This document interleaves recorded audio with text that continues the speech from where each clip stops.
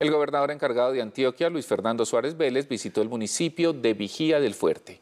En compañía de varios integrantes del gabinete departamental, revisó los diferentes proyectos que serán priorizados para el desarrollo de esta localidad en el Urabá antioqueño. Entre los proyectos que Vigía del Fuerte quiere que se priorice en la jornada de acuerdos de 2021 está un muro de contención de cerca de un kilómetro para evitar que el río Atrato inunde periódicamente la cabecera municipal. Los proyectos que el gobierno del municipio de Vigía eh, prioriza para buscar cofinanciación del gobierno de Antioquia.